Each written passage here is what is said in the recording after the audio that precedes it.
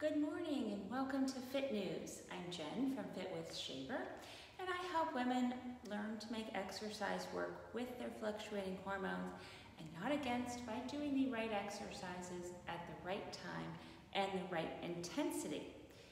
If you joined us for Fit News last week, we discussed the importance of keeping that glute med, the glute medius, we, the importance of keeping that strong as we age because that glute med is the pelvic stabilizer and it's important to have a stable pelvis as we age. It's important to have a stable pelvis at any point in time actually. So, and we uh, reviewed a few exercises last week and I hope you were able to add those into your routine and do them throughout the week. Today I want to talk about push-ups. Don't turn me off just because I said push-ups. Hang in there, okay? Because we are going to discuss some reasons why you should be doing push-ups and how you can be doing push-ups even if you're not doing them now. Okay, so a few reasons on why, let's start there. Why should you be doing push-ups? We think of push-ups as an upper body exercise. But push-ups are not just an upper body exercise. Yes, they do work the upper body, but they also, you know, not only do they work the triceps, the biceps, the pecs, the back, but they also help to strengthen our low back and our core by engaging our abs. Okay, so they will help to strengthen that core, which is important especially as we age. Okay, so why else? Number two, they improve your posture. It's important that we have proper posture because poor posture increases our fall risk. Push-ups strengthen those muscles that are responsible for um, supporting proper posture. So when we do our push-ups, we're strengthening those muscles that we need for proper posture. Proper posture helps us to stay um, fall free, right? It reduces our risk of falls. And number three, push-ups will help to prevent low back pain. Now you may be saying, well, wait a minute, Jen, I have low back pain when I do push-ups.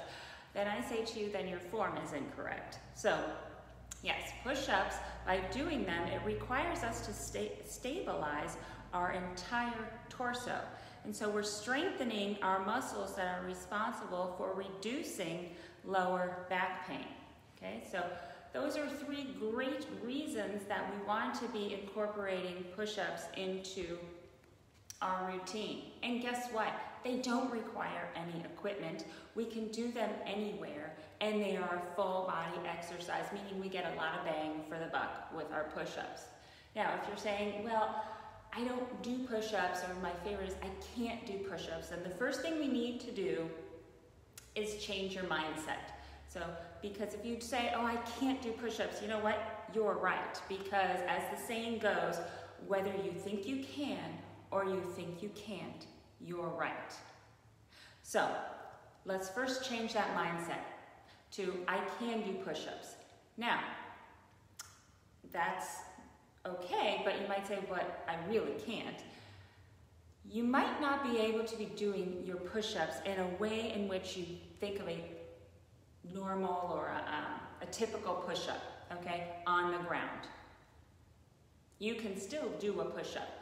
What we're going to do is if you're not currently doing push-ups is we're going to start high, which means we're going to start on a wall. So we're going to go on a little field trip. Come on over to the wall.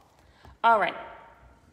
So if you're currently not doing push-ups, we're going to start high. We're going to start on a wall because guess what? This is still going to incorporate all of the muscles that we would use if we were doing them a typical, um, a typical mil military push-up. Okay, so this still counts as a push-up. So when you say I can't do push-ups, that's when I say ah ah ah ah ah.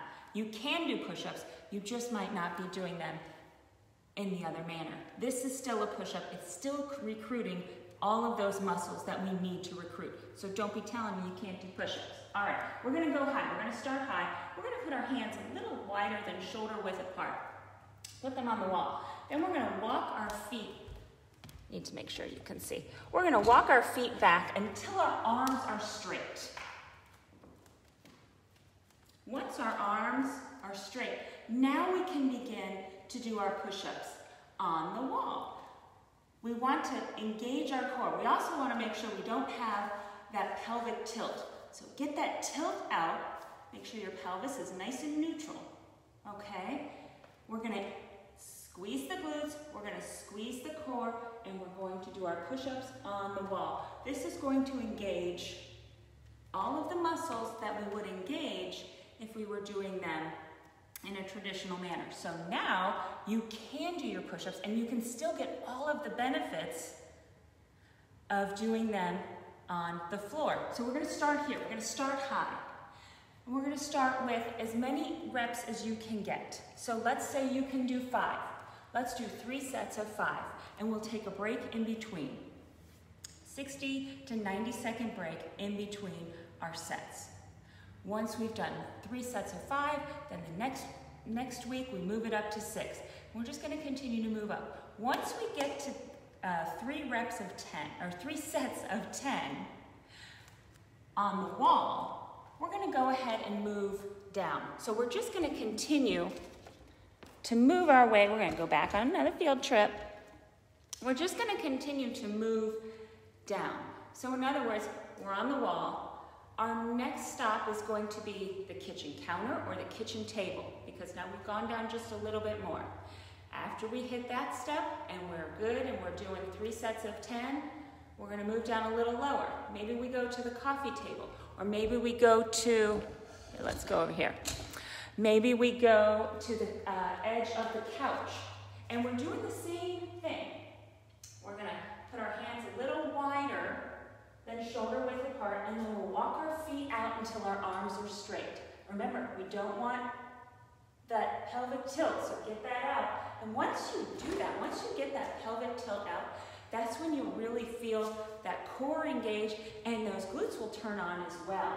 So get those arms straight, pelvic tilt out, and now we're here. So we have moved from the wall to the kitchen counter to the couch or to, um, to the coffee table, okay? And then eventually we'll find ourselves down to here. Now, a lot of people say, well, I can do them on my knees. And that's okay, but I would prefer if you went from wall to the counter, to the coffee table, or to the couch, Work your way just down to the floor, building that strength, because when we get to the knees, we can sometimes take a lot of the glute and core engagement out when you're, when you're on your knees.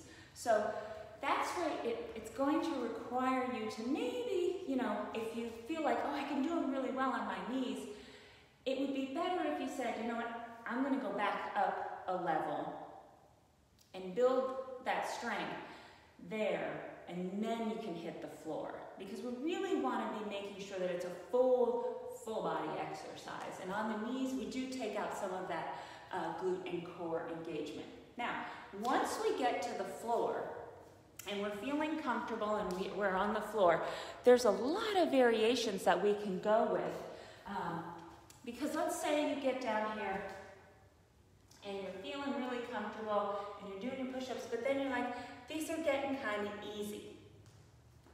There's quite a few things that we can add to uh, increase um, resistance if you want to add equipment. If you don't want to add equipment, you can just uh, make your push-ups slower. So instead of just grinding through them, just go nice and slow down and maybe hold at the bottom and then back up and hold at the top so there's ways that you can increase the difficulty, and you can do that as well on the wall, on the counter, and on the bench. So as you're working your way, if you need to, um, you know, add some uh, resistance, add some difficulty, you can do that. Now, let's say you make your way to the floor and you're like, oh, those really hurt my wrists and I don't want to do push-ups or I, I stay away from push-ups because they hurt my wrists, which is a big thing.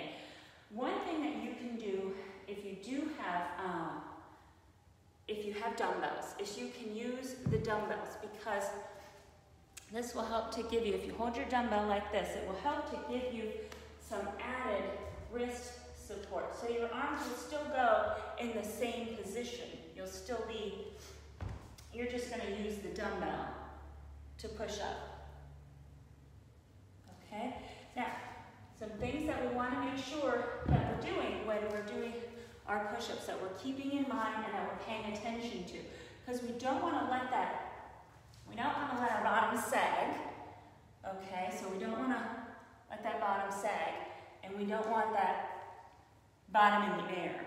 Okay, so we need to make sure that we're engaging our core, squeeze the glutes, squeeze the core, okay, nice and tight, and then down and up.